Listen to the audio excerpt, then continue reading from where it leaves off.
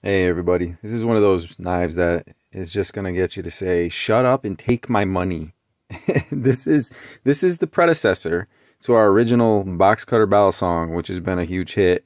We wanted to make a longer handled version, okay? So to do that, we stretched out the blade holder and we added in this cool little hex wrench, which I think it's a 12, a 10, and an 8. So for light duty, you might be able to utilize that. It's still got our bottle opener spring loaded latch on the handle we now have instead of a 7 inch overall length, we have a 9 inch overall length.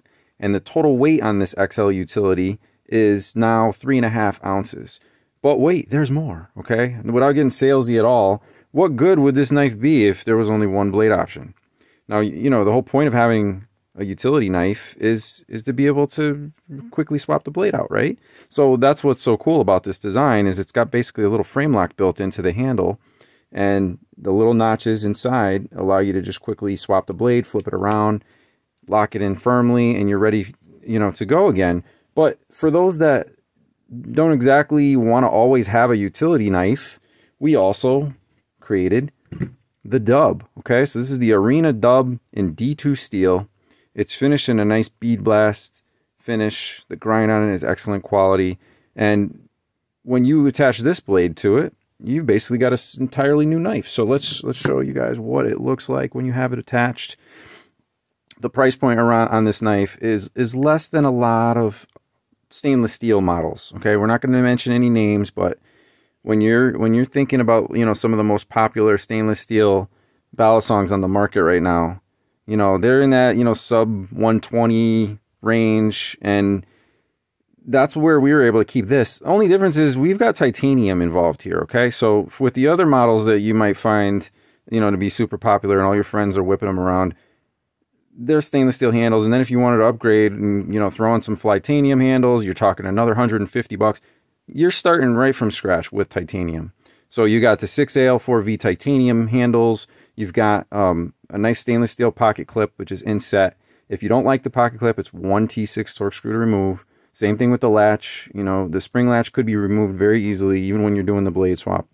But this is this is basically a year in the making. I, you know, I sketched up a quick blade design. You know, it took the factory a little time to help me out with the CAD and, and get it into production, but we finally have it here. So uh, once again, the dub name, how did we get that? We we basically just said, hey, it's a Wharncliffe. It's a reverse Tanto.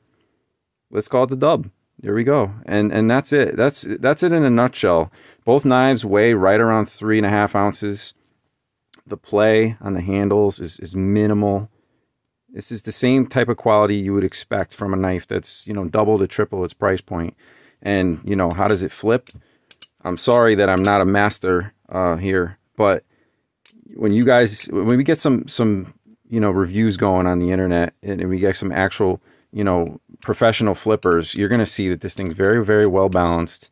You can you can helicopter twirl it. You can you can do all your tricks, and and you're gonna you're gonna basically be able to do it on a budget. Okay, because that's what we're all about at Arena Accessories. We're tired of carrying the budget knives that you know everybody else is selling. We want to start making our own private label stuff with our own name on it, and and you know we stand behind our products if you ever were, you know, to come into a situation where, you know, something happened and you lost a screw, where are you going to go? You're going to come to us and you're going to deal with this small family business right here and we're going to hook you guys up to, you know, keep you keep you active and keep your keep your knife working for you.